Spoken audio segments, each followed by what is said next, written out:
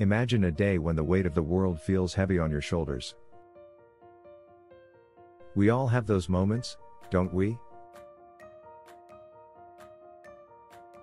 But what if science and experience could provide a beacon of positivity? Our mood is a complex interplay of neurotransmitters like serotonin, dopamine, and external factors like our environment and personal relationships.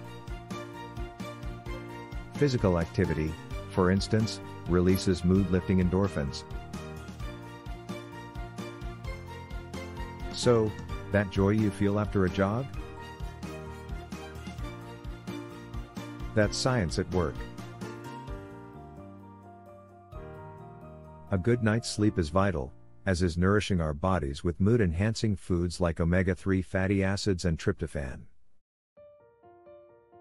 On the cognitive front, practices like mindfulness and meditation encourage us to live in the present, reducing stress and elevating mood. The social beings that we are, our interactions significantly influence our mood. Building strong relationships, enjoying deep conversations, or simply performing acts of kindness can all light up our day.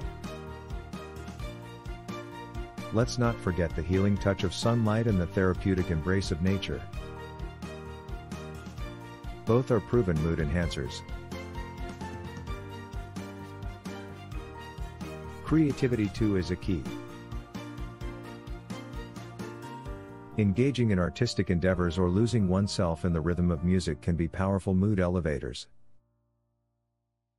Why is mood elevation significant? Well, it not only feels good but has tangible benefits.